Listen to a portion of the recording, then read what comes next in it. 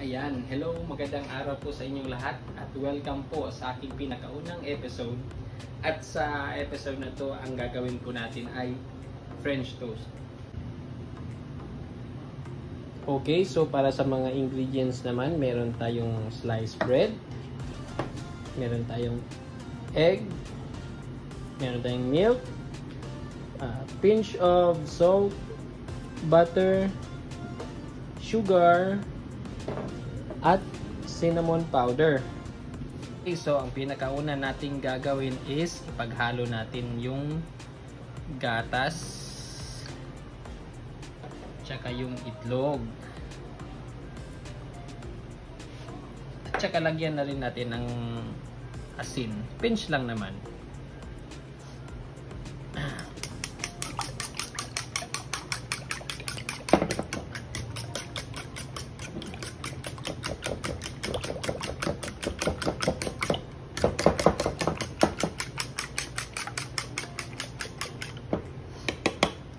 Yan. Pagkatapos is imimix na natin yung sugar.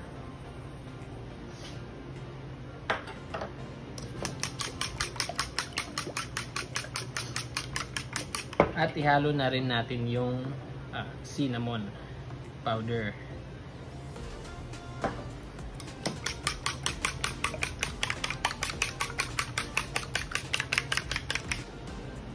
Okay, so na-mix na natin yung mga ingredients. Ngayon naman ay isasawsaw na natin yung sliced bread sa mixture natin.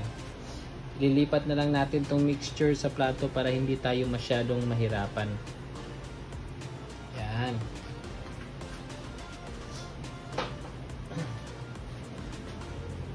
Ayan, ready na tayong magluto. Lagay na natin yung butter para pangluto natin.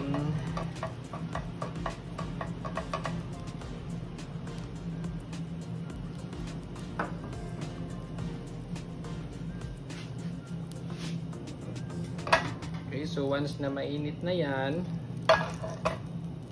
sa yan. Sasawsaw na natin yung sliced bread. Ayan.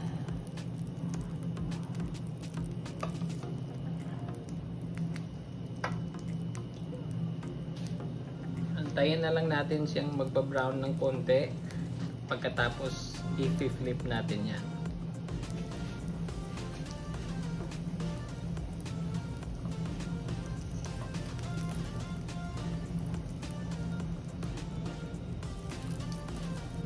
Okay, i-flip na natin.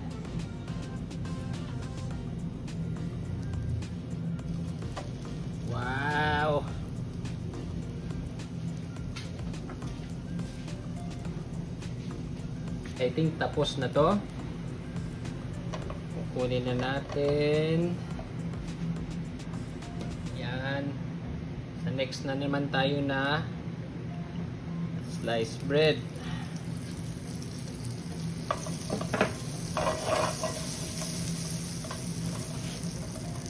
Butter.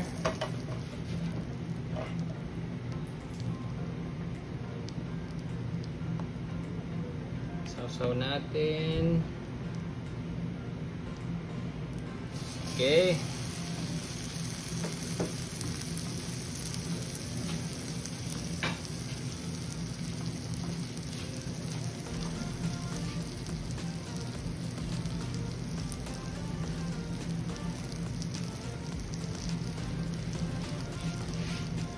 Flip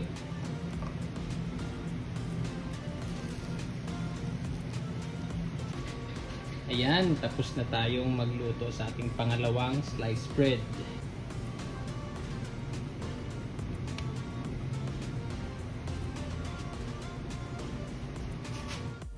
Okay, ito na po ang aking version ng French toast.